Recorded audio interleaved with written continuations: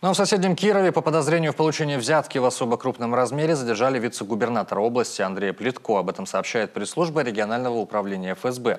Речь идет о сумме в 3,4 миллиона рублей. По данным ведомства, в сентябре и октябре 2018 года Плитко создал преступную группировку, которая вымогала у местных бизнесменов взятки. К этому он привлек доверенных лиц, которым помогал устроиться на разные должности в подведомственных министерствах и учреждениях.